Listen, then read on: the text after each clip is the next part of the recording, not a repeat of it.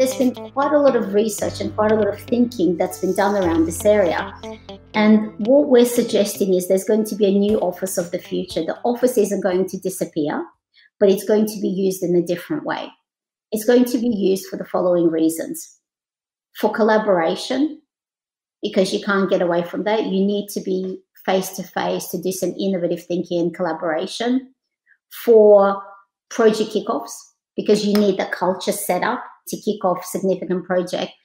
But lastly, and this is most importantly, not at all for professional reasons, but more for mental health.